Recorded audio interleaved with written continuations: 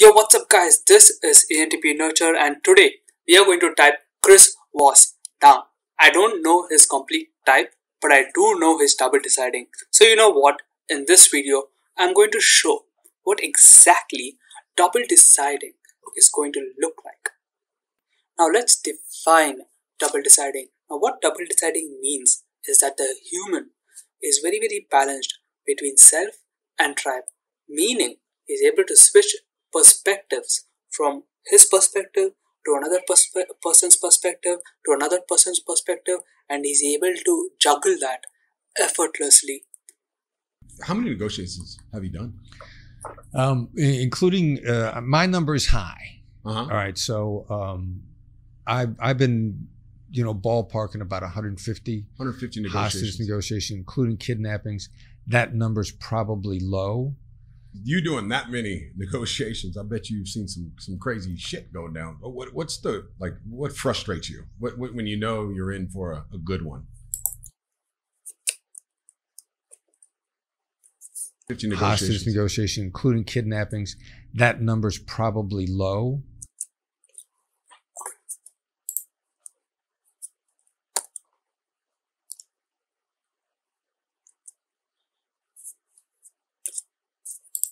You doing that many negotiations, I bet you've seen some some crazy shit go down. What what's the like? What frustrates you? What, what when you know you're in for a, a good one?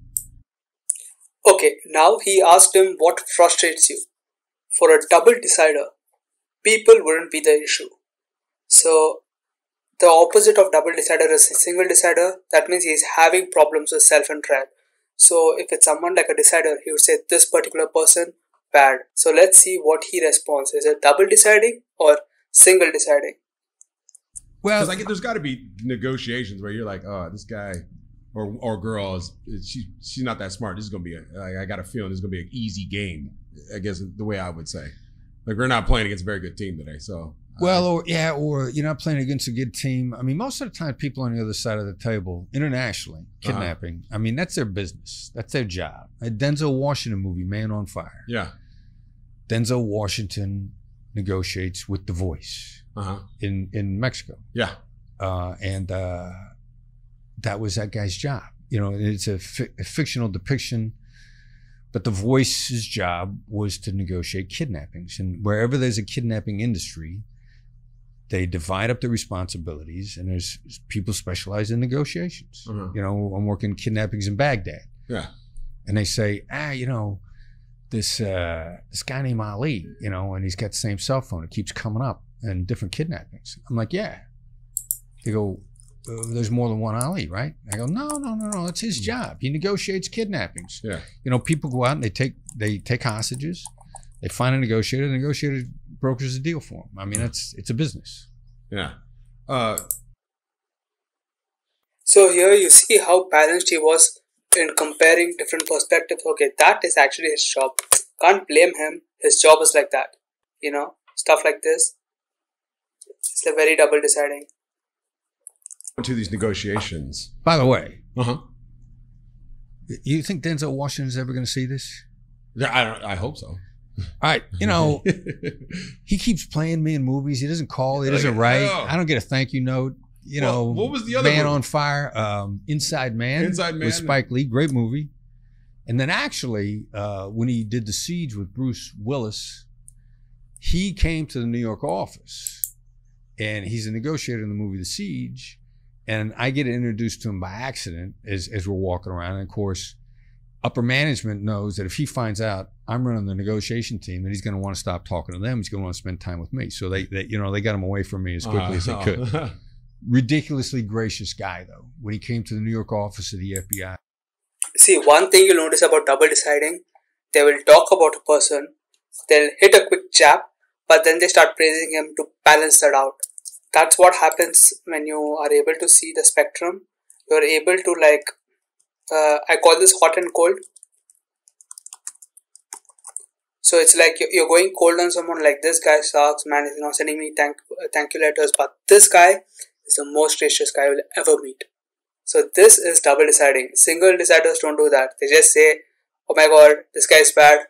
That's it. Nothing more. I mean, very friendly. Everybody that walked up to him and asked for an autograph, he signed. I mean, ridiculously gracious guy. Uh-huh. And so when you're up on a stage, what are what are some other key takeaways that you've learned in this 24 years of experience, hostage negotiation? What what are some other things that that that people can apply? So here is asking his biggest takeaways.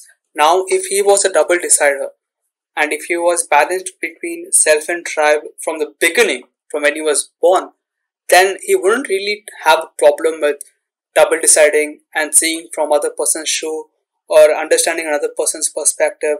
That wouldn't be his biggest uh, lesson that he learned in past 24 years. So if he had learned anything in past 24 years would be something about how to manage this missing information or how to manage system things stuff like that so let's see let's say what he says let oh, you know let's see what he says You know, uh, let the other side go first. Uh-huh. I mean, two people sit down. If we're sit, if you knowingly sit with me, you've got something you want to say. You would never have sat down if you didn't. Mm-hmm. You just want to know if I'm going to listen. Now, what you've got most of the time is two people dying to have their say, Mhm. which means basically they're talking over each other, or you talk while I don't listen, and then I'll talk while you don't listen because you're thinking of what you want to say next. Yeah. Let the other side go first. It's, I, I, I need that information. I need what's on your mind. You, you may suggest an idea that I already had. And the real secret to a negotiation is, you know, I want to, I, it's the art of letting the other side have your way. Let the other side go first. It's, I, I, I need that information. so so here's what he's saying right? Look the problem is not with the people. People is something i can take care of if i know the information. So what i learned is how to take and extract that information and use it in a way where i can negotiate and you know rescue hostages.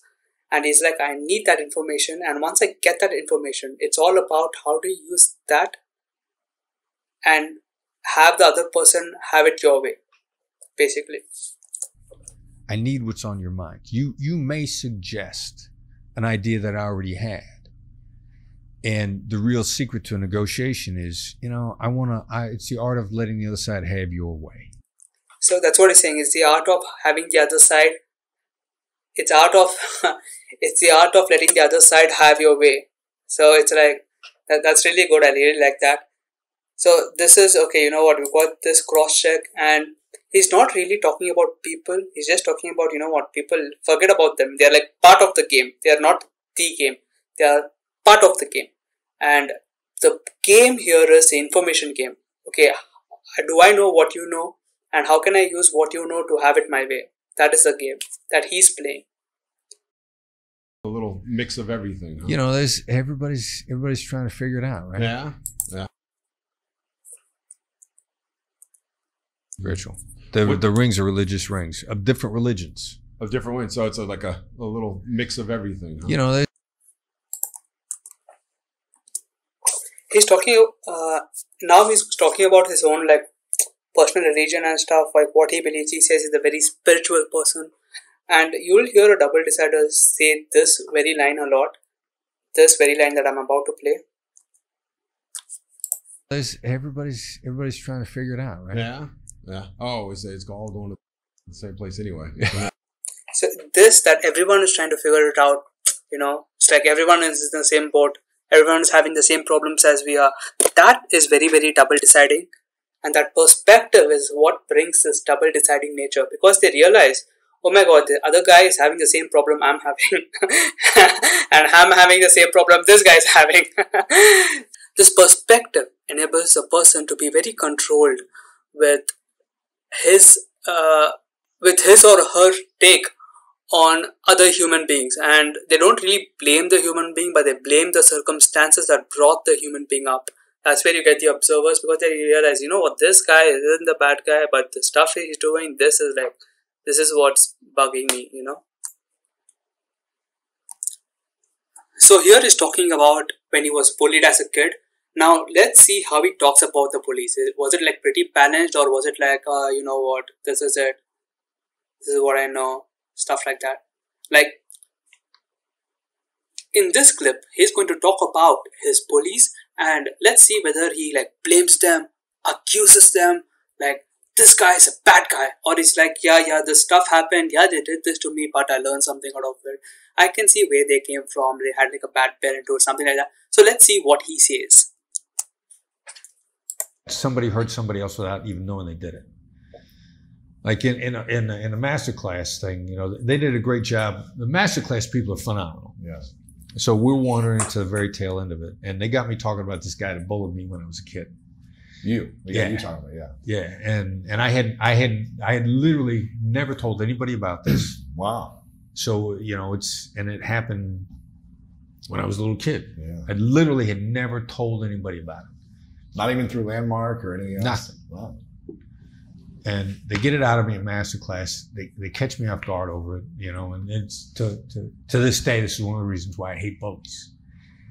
You know, I want to become an FBI agent because, you know, we, we want to go after the bad guys because the bad guys are bullies. And there's nothing I like better than getting a bully that's victimizing somebody else. Mm. And I think it was instilled in me in what happened when I was, when I was a kid. But then I started comparing that to this this interaction I heard at Landmark where somebody bullied somebody else and they didn't even know they did it. Mm. And then I began thinking about like how many people have I hurt and I didn't even know? Wow. Like if they would have come up to me today and said, You you heard know, me. I've carried this for 40 years. And I have to have done that to somebody. Right. Have to have I know done I that to have. somebody. Yeah.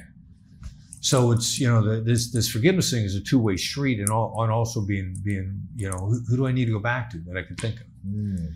that I and, and say look look uh, since I know that inadvertently I'm a jerk, then I what did I do? I'm sure I did something. I had to have done something. Uh, so we're gonna end this video. So this is what double deciding was about, and let's see, like, finally, what this person says about this guy.